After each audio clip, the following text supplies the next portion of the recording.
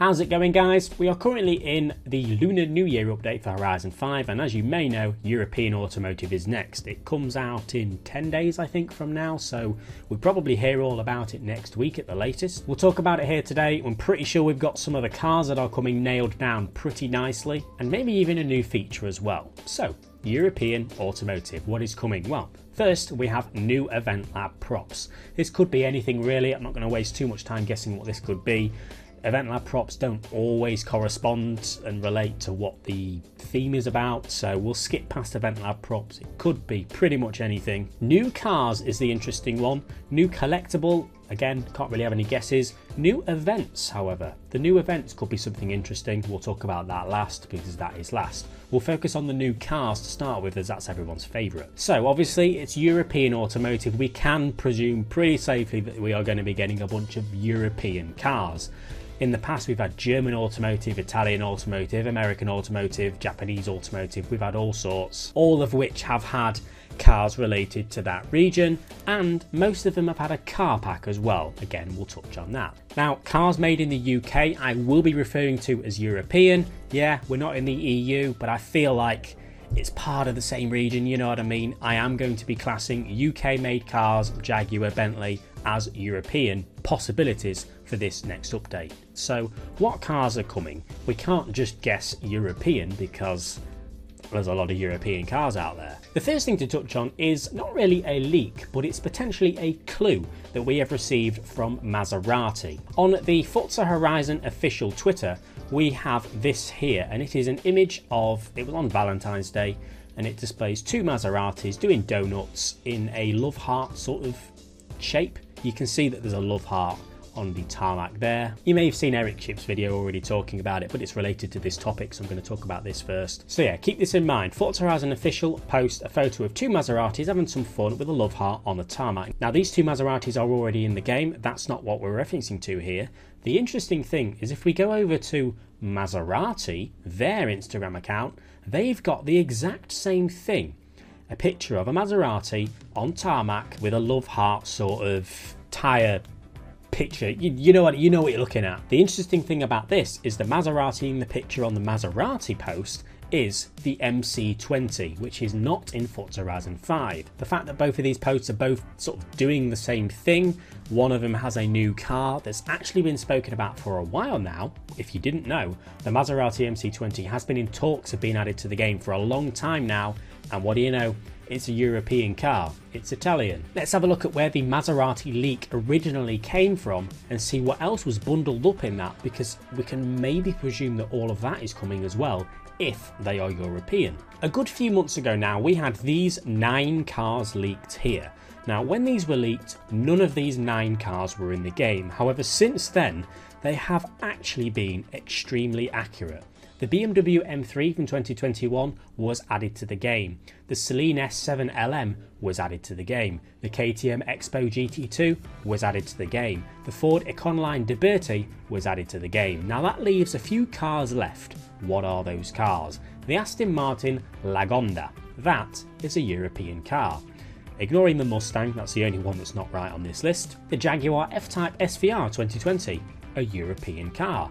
The Bentley Flying Spur, a European car, and right at the bottom, the Maserati MC20. This has been leaked for several months now. The list has been accurate, and what are left are four European cars. Is this European automotive update the update we finally get these four cars? It's certainly possible, especially that Maserati MC20 that's been hinted at over on the Maserati Instagram page. Along with that, the Maserati MC20 was spotted in a Forza Motorsport campaign calendar, I think, or poster, sorry. I think it was campaign or, or multiplayer. It was spotted within there but wasn't added to the game. That confirms 100% that at some point the MC20 has probably been scanned by the Forza folk, which means it's all ready.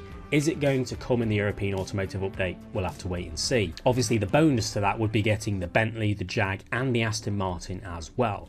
Those are not the only cars that we can guess. If we go to the leaked car list, again, it's been really accurate so far. I think almost half of the cars have ended up being added. We have the four cars we've just spoke about down in the right hand corner, and then potentially any other of the leaked cars that are on the list. The Vauxhall VX220 It's made in the UK, it's a European car.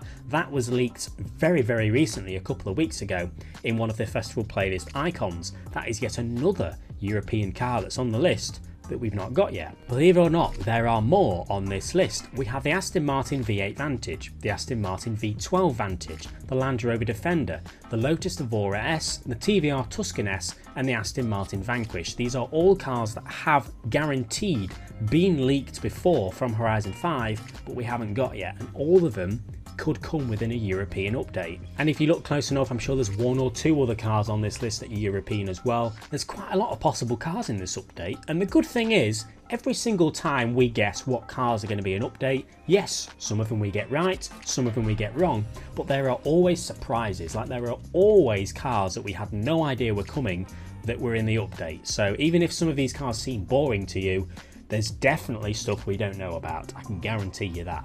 Now, speaking about the car pack, unfortunately, if I was to guess, the Maserati MC20, I reckon is going to be in the car pack. I don't know why, it just seems like the sort of the spotlight car. It's been talked about for ages now. Lots of people want it.